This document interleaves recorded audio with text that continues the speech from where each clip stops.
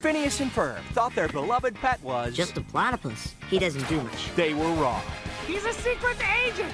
You're a secret agent? Join Phineas and Ferb in an all-new movie as they discover Perry's true identity in Phineas and Ferb Across the Second Dimension. Coming summer 2011, only on Disney Channel and Disney XD.